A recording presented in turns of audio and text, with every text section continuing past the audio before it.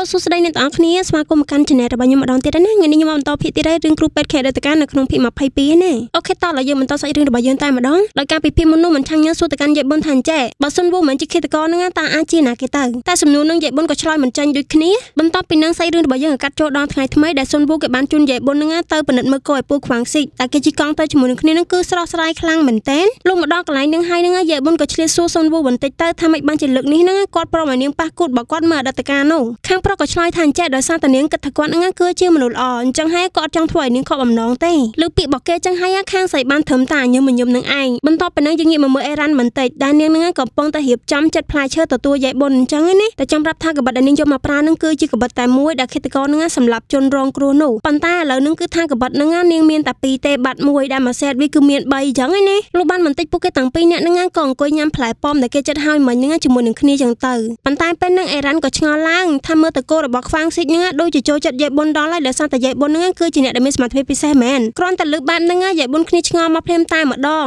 ប្រហែលជាមនុស្សស្មានថារឿងហ្នឹងអេរ៉ាន់ដឹងដែរចឹងដល់ចឹងទៅហ្នឹងអេរ៉ាន់ក៏បានប្រាប់ថាខ្វាងស៊ីចប្រាប់នាងពីរឿងដែលយាយបុនហ្នឹងមានសមត្ថភាពពិសេសហ្នឹងពូពូខ្វាងស៊ីចហ្នឹងមិនដែលលាក់រឿងអីជាមួយនឹងនាងទេដល់ដឹងអញ្ចឹងហើយហ្នឹងយាយបុនក៏បើកចិត្តនិយាយគ្នាតាក់ទងនឹងរឿងសមត្ថភាពពិសេសរបស់ខ្លួនហ្មងទៅថានាងទទួលបាននូវសមត្ថភាពពិសេសហ្នឹងគឺនៅក្រៅកោរបស់ពូខ្វាងស៊ីចនឹងឯងចឹងហើយហ្នឹងអេរ៉ាន់ក៏បានសួរទៅកាន់យាយបុនទៀតថាអញ្ចឹងតើនាងអាចមើលឃើញការគិតរបស់ណាគេម្នាក់អត់តែយាយបុនក៏តបទៅវិញថាអត់ទេគឺនឹងឯងមើលឃើញត្រឹមតែអតីតកាលរបស់គេតែប៉ុណ្ណោះលុះបន្ទាប់ពីហ្នឹងអេរ៉ានក៏សុំឲ្យយាយបុនហ្នឹងជួយរកចិញ្ចៀនមាសឲ្យខ្លួនដែលពូខ្វាំងស៊ីកបានទិញឲ្យអញ្ចឹងប៉ុន្តែនាងមិនចាំសោះតែខ្លួនហ្នឹងទុកចិញ្ចៀនហ្នឹងនៅណាយាយបុនគេសប្បាយចិត្តនៅក្នុងការជួយខ្លាំងមែនតែនក៏ប្រុងនឹងប៉ះគូរបស់អេរ៉ានទៅហើយហ្នឹងប៉ុន្តែមិនទាន់តែបានប៉ះផងហ្នឹងក៏ពូខ្វាំងស៊ីកហ្នឹងចូលមកស្រន់ស្លោខ្លាំងមែនតែនឃើញរូបភាពបែបហ្នឹងក៏បញ្ញាប់ទាញអេរ៉ានហ្នឹងចេញពីយាយបុនទៅដល់ឃើញរឹកពីរបស់គាត់ចឹងអេរ៉ានឆ្ងល់មួយហាន់នេះរបស់ខ្លួនខ្លាំងមែនតែនក៏សួរទៅគាត់វិញថាមិនធ្វើហឹកពីអីអញ្ចឹងណាព្រោះពួកគេទាំងពីរនាក់ហ្នឹងគ្រាន់តែនិយាយលេងជាមួយនឹងគ្នាអីចឹងទៅតែពួកខ្វាំងស៊ីកហ្នឹងក៏ស្លុតនាងវិញថានិយាយលេងស្អីគេព្រោះថាឥឡូវហ្នឹងយាយបុនហ្នឹងរវល់ធ្វើការងារខ្លាំងតែមើលទៅចេតនារបស់គាត់ហ្នឹងគឺអត់ចង់ឲ្យយាយបុនហ្នឹងប៉ះគូតមើលអតីតកាលរបស់ហានីគាត់ទេហើយក៏បញ្ញាប់នាំអេរ៉ាន់ហ្នឹងចូលទៅខាងក្នុងបាត់ដែលយាយបុនហ្នឹងអង្គុយតែឆ្ងល់ជាមួយនឹងរឹកពីរបស់គាត់ហ្នឹងខ្លាំងមែនតែនដល់ចឹងទៅលុះដល់យប់ឡើងយាយបុនក៏បានយករឿងនៃខ្លួនសង្ស័យទៅលើរឹកពីចម្លែកចម្លែករបស់ពូខ្វាំងស៊ីកហ្នឹងយកមកប្រាប់អុកហ៊ីនាងពិតជាចង់ដឹងខ្លាំងមែនតែនថាគាត់ហ្នឹងមានរឿងអីមិនចង់ឲ្យនាងដឹងមែនបានជាមិនចង់ឲ្យនាងហ្នឹងប៉ះគូតរបស់អេរ៉ាន់សោះដល់លើបែបហ្នឹងអុកហ៊ីក៏បានប្រាប់ថាច្បាស់ហើយព្រោះពួកគេតាំងពីអ្នកហ្នឹងគឺជាគូស្នេហ៍ថ្មីថ្មោងមួយគ្នាអញ្ចឹងបើសិនជាយាយបុនណាបានមើលអតីតកាលរបស់អេរ៉ាន់មែនណាច្បាស់ជាបានឃើញនៅស្នេហាផ្អែមល្ហែមរបស់គេតាំងពីអ្នកនោះហើយតែអស់ពីការប្រាប់យាយបុនអញ្ចឹងហើយហ្នឹងអុកហ៊ីក៏ឆ្ងល់ដូចជាឆាំងញល់ដែរថាបើសិនជាសុនវូមិនជាឃាតករអញ្ចឹងអាចជាណាគេទៅយាយបុនក៏បានឆ្លើយថាគឺជាស្រមោលដែលខ្វាំងស៊ីបានឃើញនោះដែលគេនោះគឺជាអ្នកទី3ដែលមានសមត្ថភាពពិសេសហើយក៏ជាឃាតករដែរតែ ភ្លាមនឹងអុកហ៊ីក៏ឆ្ងល់ឡើងមកតែម្ដងថាប៉ុន្តែមិនបានជាយេបុននឹងមិនអាចប្រាប់ថាម្នាក់នោះគឺជាណាគេបានយេបុនក៏តមកទៅមិត្តភ័ក្តិរបស់ខ្លួនវិញថានាងមើលមិនឃើញរកមិនដឹងថាណាគេគឺជាឃាតករនឹងទេប៉ុន្តែសមោម្នាក់នោះគឺថាពូខ្វាំងស៊ីប៉ះជើងរបស់នាងហើយនិយាយបានត្រឹមតែប៉ុណ្្នឹងហើយយេបុនក៏កាត់ចិត្តសង្ស័យភ្លាមមកតែម្ដងត្រង់ធំប៉ុណ្្នឹងឯនេះដែលអុកហ៊ីឆ្ងល់ខ្លាំងមែនតើហើយបានបន្តិចក៏ឃើញយេបុននឹងបញ្ញាប់ឡើងទៅសួរឆាងញល់ភ្លាមតែម្ដងថាយ៉ាងម៉េចទៅបើសិនជាគ្មានអ្នកទី3ដែលមានសមត្ថភាពពិសេសនោះចាំមិនតែបើសិនជាអ្វីដែលខ្វាងស៊ីកបាននិយាយប្រាប់ពួកគេនោះគឺជាការកុហកចាំមិនតែបើសិនជាអ្នកដែលមានសមត្ថភាពពិសេសនឹងមានត្រឹមតែពួកនាងពីរនាក់ហ្នឹងហើយយ៉ាងមិនតែបើសិនជាគ្មានស្រមោលម្នាក់នោះនិយាយទៅគឺថាអ្វីដែលយាយបុនកំពុងសួរទៅកាន់ឆាញ់ញ៉ាកំពុងសង្ស័យទៅលើខ្វាងស៊ីកហ្នឹងគឺជាអ្នកដែលកំពុងតែលេងសើចជាមួយនឹងប៉ូលីសជាមួយនឹងនាងអីចឹងណាព្រោះថាស្រមោលនោះគឺមានតែពួកខ្វាងស៊ីកទេដែលជាអ្នកប្រាប់ពួកគេហើយគាត់នឹងគឺជាមនុស្សតាមម្នាក់គាត់ដែលបានមើលឃើញហើយគាត់ក៏ជាអ្នក estimate ទៅលើកម្ពស់របស់ឃាតករនឹងដែរហើយពួកគេនឹងស្វែងរកតាមអ្វីដែលគាត់បានប្រាប់មករហូតចឹងណាប៉ុន្តែមិនថាព្យាយាមយ៉ាងណាក៏រកម្នាក់នោះមិនឃើញហើយពួកខ្វាងស៊ីកនឹងក៏ជាមនុស្សតាមម្នាក់ដែលបានប្រាប់ឆាំងញ៉លថាស៊ុនវូនឹងគឺស្រដៀងទៅនឹងសមោដែលគាត់បានឃើញនៅយប់នោះដល់ចឹងទៅឆាំងញ៉លក៏បានបកទៅវិភាគរឿងការពីមុននឹងមកម្ដងទៀតថាពូខ្វាំងស៊ីកនឹងគឺជាអ្នកដែលបានជួបសៃអាននៅយប់គ្រោះថ្នាក់នោះហើយគាត់នឹងក៏ជាមនុស្សម្នាក់ដែលអាចគុំទៅលើជីសុកដោយសារតែនេះនឹងធ្វើបាបអេរ៉ាន់របស់ខ្លួនចំណុចដែលសំខាន់ជាងគេនឹងគឺថាពូខ្វាំងស៊ីកនឹងក៏ជាអ្នកដែលមានសមត្ថភាពពិសេសដែរហើយដឹងច្បាស់ថាយាយបុននឹងគឺជាអ្នកដែលមានសមត្ថភាពពិសេសដូចជាគាត់ដែរនោះចឹងហើយឆាំងញ៉លក៏គិតថាពូខ្វាំងស៊ីកលាក់រឿងអក្រិតកម្មដែលខ្លួនបានធ្វើពីយាយបុនបាននឹងដែលគាត់នឹងធ្វើសកម្មភាពសម្រាប់ជនរងគ្រោះទាំងអស់ហ្នឹងដោយបិទភ្នែកនឹងឯងវិភាគឃើញចឹងហើយឆាំងញ៉លក៏បានមកសួរយាយបុនទាំងសង្កត់សម្លេងថាចឹងពូខ្វាំងស៊ីកហ្នឹងគឺជាឃាតករសម្រាប់ជាសេរីនឹងមែនស្របពេលជាមួយនឹងគ្នានឹងផងដែរនៅខាងក្រៅនៅវិញហ្នឹងគឺមិនកំពុងភ្លៀងឯងហើយក៏មានមនុស្សម្នាក់ពាក់អាវភ្លៀងកំពុងតែដើរក្រោមទឹកភ្លៀងនឹងដែរហើយពេលហ្នឹងពូខ្វាំងស៊ីកហ្នឹងគាត់ក៏បានឃើញម្នាក់ហ្នឹងដើរកាត់គាត់ទៅដូចគ្នាហើយពួកគេទាំងពីរនាក់ហ្នឹងគឺពាក់អាវភ្លៀងដូចគ្នាអញ្ចឹងដល់ឃើញបែបហ្នឹងពូខ្វាំងស៊ីកក៏តាមគេទៅផ្លែតដល់តាមម្នាក់ហ្នឹងទៅហើយហ្នឹងបានបន្តិចក៏លឺសម្លេងចាក់ជ្រឹបជ្រឹបជ្រឹបចឹងឯងបានបន្តិចក៏ឃើញពូខ្វាំងស៊ីកហ្នឹងដើរចេញមកវិញទាំងខ្លួនគាត់ហ្នឹងត្រូវគេចាក់ហើយតែដល់នីតិនឹងហើយក៏មិនទាន់ដឹងថាអ្នកដែលចាក់គាត់នឹងគឺជាណាគេដែរឆាញ់ញ៉ាល់នៅវិញបន្ទាប់ពីវិភាគរឿងនឹងជាមួយនឹងយេប៊ុនហើយនឹងក៏បានរត់ទៅរកពូខ្វាំងស៊ីកនឹងទាំងយប់ប៉ុន្តែអេរ៉ានក៏បានប្រាប់ថាគាត់ចេញទៅក្រៅបាត់ហើយហើយនឹងក៏មិនដឹងថាគាត់ទៅណាដែរដល់ចឹងឆាញ់ញ៉ាល់ក៏បានខលទៅដុកហេឲ្យដុកហេនឹងស្វែងរកទីតាំងរបស់ពូខ្វាំងស៊ីកនៅពេលនេះឲ្យខ្លួនតែកំពុងនិយាយទូរស័ព្ទមិនទាន់ចប់ផងនឹងក៏ស្រាប់តែឃើញមានអ្នកពាក់អាវភ្លៀងមួយនឹងដើរកាត់ឡានរបស់គាត់ទៅអញ្ចឹងហើយគាត់ក៏ប្រញាប់ចុះតាមម្នាក់នឹងនៅពេលដែលហៅម្នាក់នឹងឲ្យឈប់នឹងឯងក៏គាត់បានឃើញស្ដែងស្ដែងតាមម្ដងថាម្នាក់នោះកំពុងតែកាន់កបិតដែលមានស្រកឈាមតក់តក់នឹងឯងបន្ទាប់ពីពួកគេឈប់ត្រឹងទាំងពីរនាក់បានបន្តិចនឹងហើយនឹងក៏អបិដែលកាន់កបិតនឹងរត់ប្រូចតាមម្ដងដែលមានឆាំងញល់រត់ដេញតាមកាត់កាត់ពីក្រោយអញ្ចឹងទៅឆាំងញល់ដេញដេញដេញរហូតរហូតមកដល់កន្លែងតលមួយនឹងក៏ឆាំងញល់បាននិយាយទៅកាន់ម្នាក់ផងនឹងថាឯងច្បាស់ណាស់ថាឯងមិនមែនជាខ្វាងស៊ីគេព្រោះតែខ្វាងស៊ីនឹងគឺមានកម្ពស់ទាបជាងឆាំងញល់ប៉ុន្តែម្នាក់ផងដែលកំពុងឈរនៅទល់មុខគាត់នឹងគឺមានកម្ពស់ប្រហាក់ប្រហែលជាមួយនឹងឆាំងញល់នឹងឯងបន្ទាប់ពីការនិយាយចឹងហើយពួកគេនឹងក៏បានបតៃបតបគ្នាដែលឆាំងញ៉ាព្យាយាមធ្វើមិនដើម្បីបើកមើលឃើញមុខម្នាក់ហ្នឹងណាប៉ុន្តែប៉ែហ្នឹងគឺអន់មុខជ្រប់រហូតទោះបីជាបតៃបតបគ្នាជាមួយនឹងឆាំងញ៉ាល់ក៏ដោយត្រូវឆាំងញ៉ាល់បោកព្រុសទៅនឹងដីនឹងហើយនឹងក៏គេនៅតែការពារមុខជាប់មិនឲ្យឆាំងញ៉ាល់ឃើញដដែលហ្នឹងឆាំងញ៉ាល់គិតថាអាការល្អហ្នឹងក៏ចូលផងទៅទាញមុខគេមើលថាជាណាគេប៉ុន្តែក៏ត្រូវលបងហ្នឹងវាមកកបិតមកជ្រាបឈៀតអាការដែលឆាំងញ៉ាល់កំពុងតែឈឺចាប់ជាមួយនឹងមុខរបួសត្រូវមកកបិតមិញហ្នឹងណាម្នាក់ប្រុសហ្នឹងក៏បានអាការរត់ប្រូចទៅទៀតតែឆាំងញ៉ាល់នៅតែបន្តដេញគេមកទៀតប៉ុន្តែរត់មកដល់ខាងមុខបន្តិចហ្នឹងក៏បានបាត់ដានម្នាក់ប្រុសហ្នឹងហើយបានបន្តិចក៏ឃើញឆាំងញ៉ាល់ហ្នឹងមកសធឺដាក់សុនវូទាំងយប់ទៀតហើយដែលគាត់នៅតែសង្ស័យថាម្នាក់ដាក់បតែបតបមួយគាត់មិញគឺជាសុនវូសុនវូដបងឡាយឃើញគេត្រូវរបួសដៃមានហូរឈាមអីចឹងបារម្ភពីគេណាសួរថាអូខេអត់តែលបងប៉ូលីសហ្នឹងក៏បកទៅគេវិញថាលោកធ្វើឲ្យខ្ញុំសង្ស័យម្ដងទៀតហើយដល់លឺចឹងសុនវូក៏សួរបកទៅវិញថាមកនិយាយគ្មានហេតុផលអីទៀតហើយផុសថាគាត់នឹងធ្វើចេញមកពីក្នុងបន្ទប់ទេហេតុអីក៏មកនិយាយចឹងចឹងអត់យល់បន្ទាប់ពីហ្នឹងយើងកាត់មកមើលខាងយាយប៊ុនជាមួយនឹងអូហ៊ីណែបន្តិចដែលពួកគេទាំងពីរនាក់ហ្នឹងឥឡូវហ្នឹងគឺកំពុងតែភ័យមែនតែនដោយសារតែលឺមនុស្សម្នាក់កំពុងតែគោះទ្វីហើយនឹងក្តាំងក្តាំងនៅខាងក្រៅដល់អញ្ចឹងក៏ព្យាយាមសួរទៅកាន់គេទាំងភ័យភ័យនឹងថាគឺជាណាគេតែបានបន្តិចបន្ទាប់ពីស្ដាប់ឮសំឡេងថាគឺជាពូខ្វាំងស៊ីកហ្នឹងនាងក៏ទៅបើកទ្វារបើកទ្វារមកក៏ឃើញថាពូខ្វាំងស៊ីកហ្នឹងគឺគាត់ទ្រុឌទ្រោមខ្លាំងមែនតែនហូរឈាមព្រោះគាត់ត្រូវរបួសខ្លាំងហ៎យាបុនភ័យស្លានស្លាខ្លាំងមែនតែនឃើញបែបហ្នឹងហ្នឹងក៏បញ្ញាប្រាប់អូខេឲ្យហាឡានសង្គ្រោះបន្ទាន់ ឆ្លៀតពេលហ្នឹងពូខ្វាំងស៊ីកហ្នឹងក៏ចង់ខ្សឹបប្រាប់អ្វីមួយយ៉ាងដល់យាយប៊ុនប៉ុន្តែការខ្សឹបរបស់គាត់ហ្នឹងមិនចប់ចុងមិនចប់ដើមទេយាយប៊ុនស្ដាប់មិនយល់ថាជាអ្វីទេគាត់ក៏ស្លាប់ទីងបាត់ទៅចំណែកខាងឆាំងញ៉ាល់ហើយវិញដែលឃើញថានៅលើដៃរបស់សុនវូហ្នឹងមានប្រឡាក់ឈាមដៃហ្នឹងគាត់ក៏បានសួរ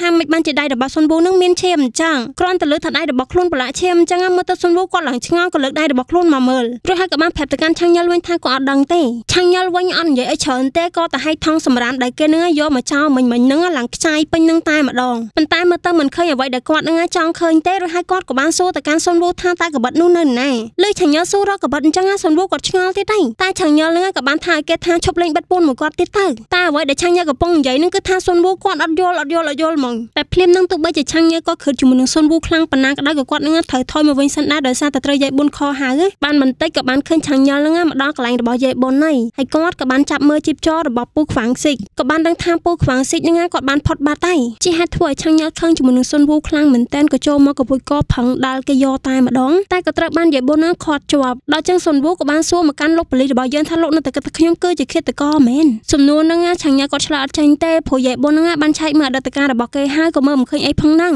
ដល់ចឹងទៅសុនវូហ្នឹងក៏បញ្យល់ឲ្យឆាំងញ៉ាល់ហ្នឹងរកមើលផតាងទៅលើគេបញ្យល់អញ្ចឹងឲ្យឆាំងញ៉ាល់គាត់ក៏ចាប់ផ្ដើមរករកឆែករកមើលអីចឹងទៅប៉ុន្តែក៏ត្រូវបានសុនវូខាត់ព្រោះគាត់អត់ចង់ឲ្យឆាំងញ៉ាល់ហ្នឹងមកឆែកឆៅឆៅអញ្ចឹងឯងគាត់ចង់ឲ្យឆាំងញ៉ាល់ហ្នឹងយកដីកាមកឆែកអីចឹងណាដល់ចឹងទៅឆាំងញ៉ាល់គ្រឹតខ្លាំងមែនតែនគាត់ថាគាត់ស្បត់គាត់ចាប់សុនវូឲ្យបានឲ្យសុនវូនឹងរងចាំគាត់ណាលោកបន្ទាប់ពីនឹងយាយប៊ុនក៏ដូចជាអេរ៉ានហ្នឹងក៏ត្រូវបានប៉ូលីសហៅទៅសួរនាំដោយសារតែយាយប៊ុនហ្នឹងគឺជាអ្នកដែលបានជួបពូខ្វាំងស៊ីកហ្នឹងមុនគេនៅពេលដែលគាត់ស្លាប់ហើយអេរ៉ានហ្នឹងគឺជាសាច់ញាតិអញ្ចឹងហើយគេចង់ដឹងរឿងខ្លះៗតាក់ទងនឹងពូខ្វាំងស៊ីកចឹងណាដោយឆាំងញ៉ាល់បានដឹងពីអេរ៉ានថាពូខ្វាំងស៊ីកហ្នឹងដូចជាមានរឿងថ្លឹងថ្លែងនៅក្នុងចិត្តមិនដឹងទេគាត់រាល់យប់ហ្នឹងគេមិនដែលលក់ទេគាត់តែងតែចេញទៅក្រៅរហូតចំណុចហ្នឹងក៏ធ្វើឲ្យឆាំងញ៉ាល់គិតឃើញថាតើពូខ្វាំងស៊ីកហ្នឹងគាត់ដឹងថាឃាតករនោះគឺជាណាគេមែនបានជាគាត់ហ្នឹងត្រូវចេញក្រៅពេលយប់ដើម្បីទៅឆែកមើលថាឃាតករហ្នឹងធ្វើឲ្យគេខ្លាចហើយយប់នោះក៏តាមឃាតករទៅហ្នឹងដើម្បីជជែកមើលអតីតកាលរបស់គេអញ្ចឹងហើយបានជាគាត់ហ្នឹងត្រូវគេសម្លាប់ចោលអញ្ចឹងការដែលគាត់ថេថាខំរយយាយប៊ុនទាំងមានរបួសហ្នឹងគាត់ចង់ប្រាប់អីដល់យាយប៊ុនមែនគាត់កំពុងតែឈរគិតនៅមុខមន្ទីរពេទ្យរបស់យាយប៊ុននឹងក៏ឃើញយាយប៊ុនដើរចូលមករកគាត់ល្មម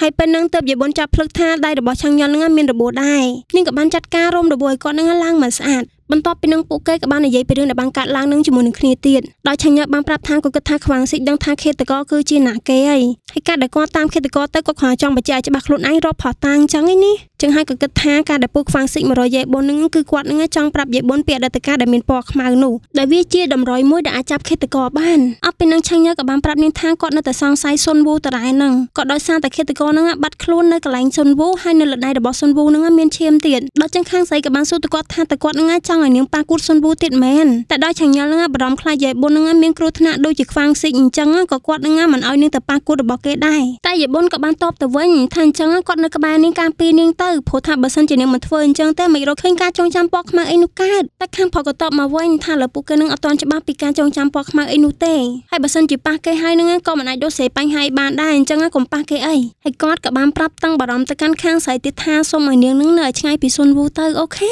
ហើយកៅភ្នែកគេឡើងបារម្ភពីខាងស្រីហ្មងប៉ុន្តែយាយបុនណាទ្រាំមិនបានទេក៏បានណាត់ជួបសុនវូទាំងយប់តែម្ដងហើយនាងក៏បាននិយាយជួឲ្យឆាញ់ញ៉លថាឆាញ់ញ៉លគាត់បែបហ្នឹងឯងដោយសារតែគាត់ហ្នឹងឯងចង់ចាប់ឃាតករឲ្យបានខាងសុនវូក៏បានតបមកវិញថាណាគេសង្ស័យគាត់អីណាគិតពីគាត់មកញៀងគាត់អត់ខ្វល់ដែរប៉ុន្តែគាត់ទ្រាំអត់បានទេបើសិនជាយាយបុនហ្នឹងសង្ស័យលើគាត់ដែរនោះដោយឃើញសុនវូហ្នឹងនិយាយដូចប្រកាសវិជាសេតចំពោះរឿងនឹងខ្លាំងណាខាងស្រីក៏តបទៅគាត់វិញថានាងជឿជាក់លើគាត់គាត់មិនឃាតករឯងហើយស្របពេលដែលពួកគេកំពុងតែអង្គុយនិយាយគ្នាហ្នឹងប៉ូលីសស្រីស្រីអង្កេតរបស់យើងឃើញបែបហ្នឹងក៏បានខកប្រាប់រឿងហ្នឹងដល់ឆាញ់ញ៉លផ្លែតដល់អញ្ចឹងឆាញ់ញ៉លក៏សុំឲ្យនាងហ្នឹងតាមមើលពួកគេទាំងពីរនាក់នោះឲ្យជាប់កុំឲ្យពួកគេទាំងពីរនាក់ហ្នឹងនៅតែពីរនាក់ឲ្យសល់ខ្លាចយាយបុននឹងគ្រោះថ្នាក់ឯងបន្ទាប់ពីនឹងពួកគេទាំង3នាក់ហ្នឹងក៏ចាប់ផ្ដើមវិភាគរឿងថាឃាតករហ្នឹងបិទភ្នែកចាក់ជនរងគ្រោះបានឬក៏អត់អីនោះព្រោះថាចំណុចហ្នឹងគឺជាចំណុចដែលគួរឲ្យឆ្ងល់មួយថាបើសិនជាឃាតករហ្នឹងបិទភ្នែកទៅរហូតអញ្ចឹងណាតើគេនឹងអាចទៅរកកន្លែងជនរងគ្រោះនៅបានដោយរបៀបណាបដាបិទភ្នែករហូតចង់និយាយបែបហ្នឹងដល់អញ្ចឹងទៅពួកគេក៏ចាប់ផ្ដើមសាកល្បងដោយផ្ទាល់តែម្ដងថាបើសិនជាបិទភ្លើងឲ្យដើរបិទភ្នែកទៀតហ្នឹងតើពួកគេនឹងអាចទៅចាប់គោលដៅរបស់ពួកគេបានឬក៏អត់ចុងក្រោយគឺថាអត់បានទេឆាញ់ញ៉លបរាជ័យរហូតគោលដៅរបស់គាត់ហ្នឹងគឺដុកហេប៉ុន្តែអ្នកដែលគាត់ហ្នឹងទៅចាប់បានហ្នឹងគឺជាចុងមុខទៅវិញលុះបន្ទាប់ពីនឹងចុងមុខក៏លួចចូលក្នុងបន្ទប់កសលវិច័យដើម្បីលួចថតយករូបរបួសស្នាមនៅលើសាកសពរបស់ខ្វាងស៊ីកដោយសារតែពួកគេហ្នឹងគឺថាអត់មានសិទ្ធិនៅក្នុងការចូលមកពាក់ព័ន្ធនឹងរឿងក្តីទាំងអស់ហ្នឹងទៀតទេអញ្ចឹងគ្រប់យ៉ាងគឺពួកគេនឹងត្រូវលួចបើសិនជាចង់ស៊ើបបន្តនោះបន្ទាប់ពីឃើញរូបរបួសស្នាមទាំងអស់ហ្នឹងហើយពួកគេនឹងក៏យកមកខំភាជាមួយនឹងជនរងគ្រោះដតីទៀតពីមុនហ្នឹងក៏បានឃើញថារបួសស្នាមនៅលើខ្លួនរបស់ពួកខ្វាងស៊ីកហ្នឹងខុសពីអ្នកដតីក៏ធ្វើឲ្យឆាំងញ៉ាគិតឃើញថាឃាតករចាក់ពួកខ្វាងស៊ីកហ្នឹងដោយមិនបិទភ្នែកទេព្រោះថាចាក់ហ្នឹងគឺសុទ្ធតែចំចំណុចសំខាន់ទាំងអស់ដូច្នេះហើយទិសដៅបន្តរបស់ពួកគេត្រូវស៊ើបហ្នឹងគឺត្រូវស៊ើបឲ្យឃើញពីល្បិចរបស់ឃាតករដែលលាក់ការចងចាំពណ៌ខ្មៅរបស់ខ្លួននៅពេលដែលធ្វើសកម្មភាពទៅលើជនរងគ្រោះពីមុនពីមុននោះលុះចូលដល់ថ្ងៃថ្មីយាយបូនហ្នឹងក៏ត្រូវបានសុនវូហ្នឹងប្រវួរទៅកន្លែងរោងឈើរបស់គាត់នៅពេលដែលរុះឈើរុះឧបករណ៍គេហ្នឹងសុនវូក៏បានចាប់ដៃយាយបូនហ្នឹងបង្រៀនអីចឹងទៅ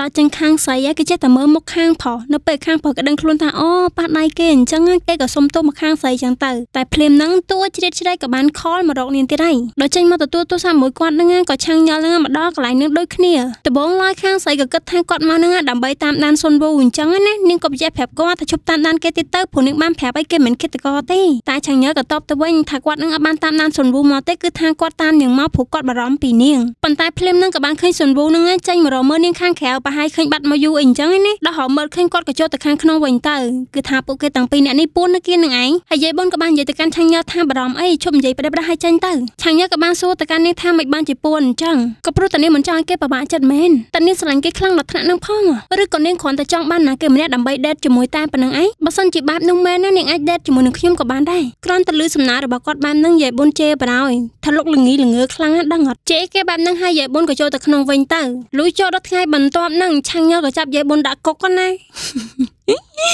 ការដែលគេធ្វើអញ្ចឹងគឺថាដើម្បីរក្សាសុវត្ថិភាពឲ្យខាងស្រី ព្រោះថាលើនឹងក៏អត់ខ្វល់ទេថាណាគេគឺជាឃាតករគឺជាសុនវូឬក៏អត់នោះអីដែលសំខាន់គឺនាងកំពុងតែមានគ្រោះថ្នាក់ដោយសារតែអ្នកដែលមានសមត្ថភាពពិសេសលើនឹងមើលទៅគឺមានតែនាងម្នាក់ទេអញ្ចឹងបើសិនជាអាចឃាតករក៏ចង់សម្លេះនាងចោលដែរហើយមិនថាជាយាយបុននឹងតវ៉ាជាមួយនឹងគាត់យ៉ាងណាទេក៏គាត់មិនខ្ចីដោះលែងដកហូតយកទាំងទូរស័ព្ទរបស់នាងទៅទៀតហើយផ្ដាំប៉ូលីសនៅនឹងថាមិនថាជាយ៉ាងណាក៏ដោយក៏មិនអាចដោះលែងនាងបានដែរទុករហូតដល់គាត់នឹងមកសួរចម្លើយនាងដោយខ្លួនឯងដោយកលឹកខអាងថាខាងស្រីនឹងមានទោសដោយសារតែលួចតាមដានគាត់រហូតហើយឡើងអញ្ចឹងនេះរឿងដែលយាយបុនត្រូវឆាំងញ៉ាល់ចាប់ដាក់គុកនឹងមើលទៅសុនវូគាត់ខឹងខ្លាំងមែនទែនព្រោះគាត់ប្រហែលជាដឹងថាឆាងញ៉ានឹងព្យាយាមបាយយាយបុននឹងចាញ់ពីគាត់ចំណែកខាងគ្រូខ្មោចនៅវិញក៏ព្យាយាមដើររុករកមើលគ្រប់កន្លែងនៅក្នុងផ្ទះរបស់គាត់ដោយសារតែគាត់ទទួលបានការងារពិសេសពីខាងប៉ូលីសស៊ើបអង្កេតរបស់យើងនឹងដែលឲ្យគាត់នឹងជួយរកមើលកបិតនៅយប់នោះដែលប៉ូលីសនឹងនៅតែគិតថាសុនវូគឺជាឃាតករតារាចឹងណាប៉ុន្តែទោះបីជាគាត់នឹងព្យាយាមរុករកមើលគ្រប់កន្លែងហើយក៏នៅតែរកមិនឃើញដែរហើយសុនវូនឹងគាត់ក៏ដឹងច្បាស់ដែរថាគ្រូខ្មោចកំពុងតែរុករកមើលអីចំណែកខាងយាយបុននៅវិញឆ្លៀតពេលដែលឆាំងញ៉ាល់អត់នៅនឹង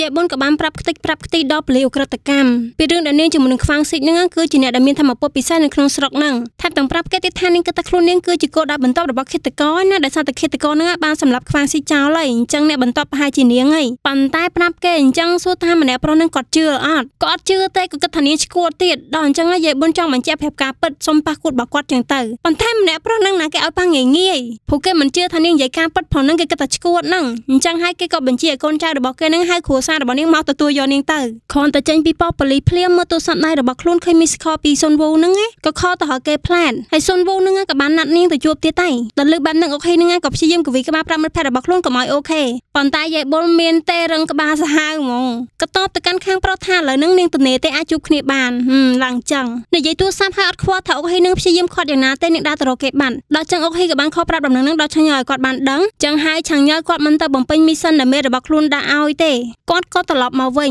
ទោះបីជាដឹងថានឹងត្រូវបញ្ឈប់ពីការងារហ្នឹងក៏គាត់ខ្វល់ដែរព្រោះថាលើយាយបុនហ្នឹងកំពុងតែនៅក្នុងគ្រោះថ្នាក់ដែលហាំឆាញ់ញ៉ាល់បានជុំមុខគាត់ក៏ចូលតាមផ្លូវទៅដល់ឆាញ់ញ៉ាល់ត្រឡប់ទៅវិញម្នាក់ឯងទៅចំណែកខាងសុនវូនៅវិញគាត់កំពុងតែសម្លឹងមើលអ្វីម្យ៉ាងដោយមិនព្រិចភ្នែកសោះហ្មងមើលឲ្យចិត្តទៅក៏ឃើញថាគឺជាកបិតនោះឯងប៉ុន្តែមិនដឹងថាជាកបិតរបស់គាត់ឬក៏ជារបស់ណាគេដែលយកមកទុកនៅនឹងទេហើយភ្លាមហ្នឹងយាយបុនហ្នឹងក៏មកតន់ល្មមប៉ុន្តែមិនមែនមកតែនាងម្នាក់ទេគឺថាគ្រូខ្មោចហ្នឹងក៏មកជាមួយដែរដល់ឃើញបែបហ្នឹងសុនវូគាត់បញ្ញាបិទកែអវ៉ាន់របស់គាត់ភ្លាមតែម្ដងប៉ុន្តែមើលទៅពួកគេទាំងពីរនាក់ហ្នឹងដូចជាបានឃើញកបិតនោះហើយសុនវូគាត់នៅតែរសារឹកពីនឹងថឹងដដែលដល់និយាយទៅកាន់នាងថាគាត់គិតថានាងហ្នឹងមកម្នាក់ឯងតាគ្រូខ្មោចលឺអញ្ចឹងក៏បានប្រាប់គាត់ថាដោយសារតាមរយៈហ្នឹងនៅក្នុងស្រុកហ្នឹងចេះតែមានរឿងអញ្ចឹងណាអញ្ចឹងហើយគាត់បារម្ភក៏ចេះតែជូននាងមកមកព្រោះយ៉ាងណាក៏បានជួបគ្នានៅខាងមុខហើយហ្នឹងប៉ុន្តែចង់ប្រាប់ថាពេលហ្នឹងយាយបូនហ្នឹងគិតតាពីសម្លឹងកែអវ៉ាន់របស់គាត់រហូតព្រោះបានឃើញកបិតហ្នឹងហើយគ្រូខ្មោចវិញក៏ចេះតែពីដៀងភ្នែកមើលសុនវូរហូតដែលសុនវូហ្នឹងដូចជាដឹងខ្លួនដូចគ្នាដែរហ្នឹងព្រោះថាភ្នែករបស់គាត់រវាខ្លាំងហើយពេលហ្នឹងសុនវូដូចជាចង់ចម្លៀសគ្រូខ្មោចហ្នឹងចេញទៅយ៉ាងម៉េចមិនដឹងទេក៏បានធ្វើឲ្យកពុកកាហ្វេលើគ្រូខ្មោចហ្នឹងឲ្យដេញគ្រូខ្មោចហ្នឹងឲ្យទៅសម្អាតខ្លួនណានៅក្នុងព្រះវិហារដែលនៅជិតហ្នឹងទៅតែភ្លាមនឹងគ្រូខ្មោចងាយមកមើលយាយបូនហ្នឹងដូចជាបារម្ភពីនាងមិនដឹងទេចឹងហើយក៏បានសុំសុនវូនឹងឲ្យជូនគាត់ទៅទៅព្រោះគាត់អត់ស្គាល់ទេអត់ដឹងថាកតុបទឹកហ្នឹងនៅណាទេដំបងឡើយមើលទៅមុខរបស់សុនវូនឹងគាត់រៀងស្ទះស្ទើរដែរតែគាត់ក៏យកព្រមជូនគេទៅទៅហើយឆ្លៀតបានមកប្រាប់យាយបូនថាគាត់នឹងត្រឡប់មកវិញឡើយហើយយាយបូនគេក៏អូខេទៅព្រោះថាប្រហែលជាបានឲ្យគាត់ចេញទៅនឹងអាងនឹងបើកមើលប្រអប់ហ្នឹងហើយដោយការសង្ស័យមែនគេចេញតែបាត់យាយបូនហ្នឹងក៏ទៅលួចបើកមើលប្រអប់ហ្នឹងគ្រាន់តែបើកឃើញកបិតនៅក្នុងប្រអប់ហ្នឹងគឺយាយបូនភ័យខ្លាំងមែនតើហើយគេសួរខ្លួនឯងថាគឺជាសុនវូមែនអូយស៊ីននេះតក់ស្លុតខ្លាំងមែនតើបានបន្តិចក៏ឃើញសុនវូនឹងស្ទុះចូលមកខាងក្នុងវិញប៉ុន្តែពេលហ្នឹងគឺបាត់យាយប៊ុនហើយយាយប៊ុនចេញទៅវិញបាត់ហើយគាត់ក៏ប្រញាប់តាមគេមកទៀតក៏ឃើញថាយាយប៊ុននឹងចេញមកមិនទាន់ឆ្ងាយពីកន្លែងធ្វើឈើគាត់ទេគាត់ក៏ហៅនាងដែលមើលទៅគឺយាយប៊ុននឹងល្មមនឹងលើការហៅរបស់គាត់ប៉ុន្តែនាងអត់ឆ្លើយអីទាំងអស់ក៏បន្តដើរទៅមុខទៀតតែភ្លាមនឹងរត់ទៅគួរឲ្យខ្លាចទៀតហើយអ្នកទាំងអស់គ្នាគឺសុនវូនឹងក៏រត់ចូលទៅខាងក្នុងយកកបិតនឹងដេញតាមតួស្រីយើងហ្មងឃើញគេកាន់កបិតរត់តាមមកត្រកត្រកបែបហ្នឹងយាយប៊ុននឹងក៏ដាក់មេប្រិចរត់យកតែម្ដងដល់អញ្ចឹងតើដឹងនិយាយថាម៉េចទេស៊ីនេះអត់ដឹងថាសុនវូគាត់គឺជាឃាតករមែនឬក៏អត់ទេណាតែមើលទៅចេតនារបស់គាត់នឹងគឺគាត់ព្យាយាមរត់ធ្វើមិនតាមខាងស្រីនឹងឲ្យបានហ្មងយាយប៊ុនរត់រត់រត់ភ័យផងអីផងនឹងក៏ដួលប្រូខកឡើងរត់បន្តទៅមុខទៀតបានប្រហែលចំហៀនហ្នឹងក៏ស្រាប់តែឃើញមានអ្នកពាក់អាវភ្លៀងឈរចាំនៅខាងមុខហ្នឹងដល់សុនវូរត់មកពីក្រោយឃើញបែបហ្នឹងក៏ចាប់ដៃរបស់នាងរត់ទៅមុខទៀតប៉ុន្តែលបងលបងពាក់អាវភ្លៀងហ្នឹងក៏ស្ទាក់ពួកគេនិយាយទៅចេតនារបស់អាប៉ែហ្នឹងគឺមកចាត់ការតួស្រីយើងនឹងឯងដោយសុនវូបានបតៃបតបជាមួយនឹងអាប៉ែអាវភ្លៀងហ្នឹងថ្មីការពីកុំឲ្យគេធ្វើបាបតួស្រីយើងអញ្ចឹងណារួចហើយក៏ដេញយាយប៊ុនឲ្យរត់ចេញទៅយាយប៊ុនភ័យខ្លាំងមែនតើក៏រត់ចេញមកទាំងទឹកភ្នែកនឹងឯងរត់មកដល់មុខបានបន្តិចហ្នឹងក៏បានខុសរឆាំងញ៉ាល់ឲ្យជួយដែលឆាំងញ៉ាល់វិញគឺថាបើកឡានដូចហោះតែម្ដងណាលោកបានមួយសន្ទុះខាងយាយប៊ុននៅវិញស្ថានភាពឡើងស្ងាត់ហើយហ្នឹងក៏នឹកឃើញដល់ពេលសម្ដីដែលសុនវូនឹងធ្លាប់និយាយប្រាប់នាងថានៅនឹងគាត់មានណាគេទុកចិត្តទេគឺគាត់ទុកចិត្តតែនាងម្នាក់គត់ដល់អញ្ចឹងហើយនឹងយាយប៊ុនក៏ទាញប៉ែដែលនៅចិត្តនឹងហ្នឹងណាផងថាមកជួយសុនវូវិញប៉ុន្តែពេលដែលមកដល់ហ្នឹងគឺថាឃើញតែសុនវូនឹងដេកស្លាប់នៅកន្លែងកើតហេតុហ្នឹងឯងយាយប៊ុនតក់ស្លុតខ្លាំងមែនទែនធ្លាក់ប៉ែពីដៃតែម្ដងអូខ្ញុំពិតជាចង់ឃើញមុខអបិឃាតករនឹងខ្លាំងមែនទែនចង់ដឹងថាមុខមាត់វាបែបម៉េចតែចុះដល់នេះទីនេះបើចង់ដឹងថាតើលបងនឹងមុខមាត់បែបម៉េចនឹងចាំតាណានមើលនៅក្នុងភាគបន្តបន្តទៀតណាដោយសារតែភាគនេះគឺ slash ត្រឹមតែប៉ុណ្្នឹងឯងចង់អរគុណច្រើនមែនទែនសម្រាប់ការរងចាំកុំភ្លេចជួយចុច subscribe នៅលើ channel របស់ខ្ញុំម្នាក់មួយផងដើម្បីទទួលបាននូវវីដេអូថ្មីៗទៀតណាបាយបាយ